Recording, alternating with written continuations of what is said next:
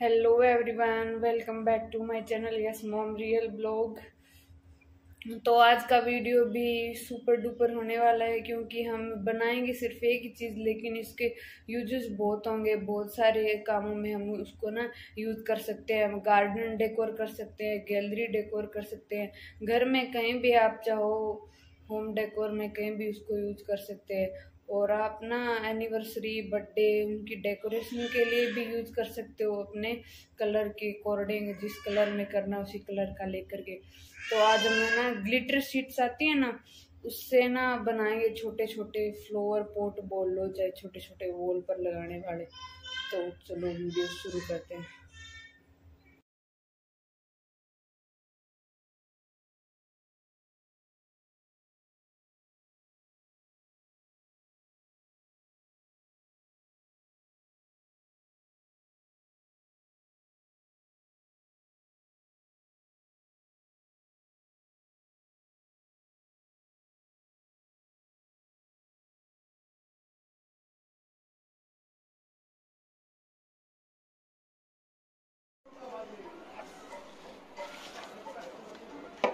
देखो ये ऐसे बन करके तैयार कर लिया हमने।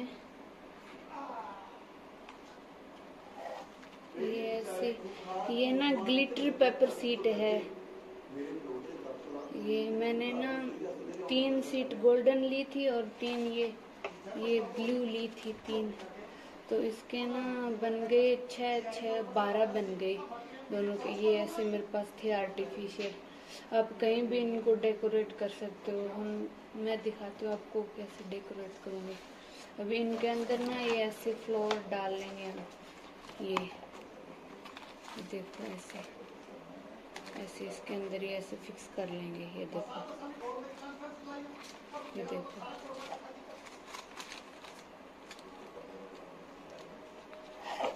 ये देखो।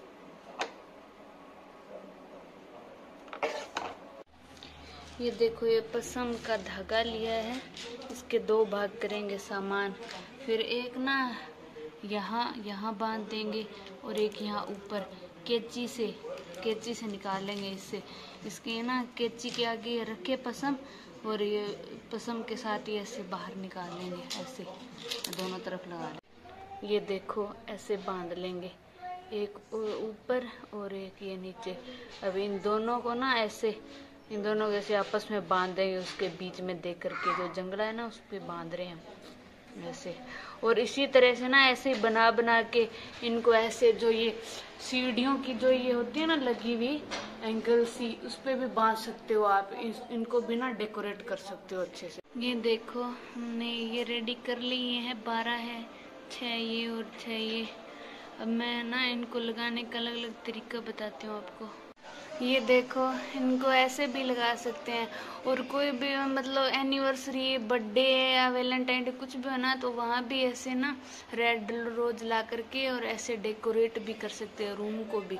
इनसे ऐसे, ये देखो, इस तरीके से भी लगा सकते हैं।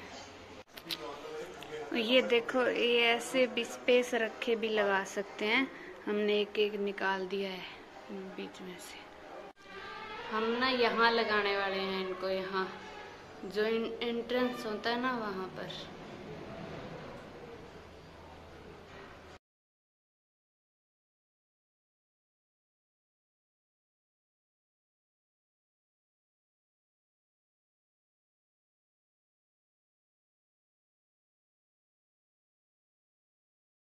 ये देखो, हमने इनको यहाँ डेकोरेट किया है।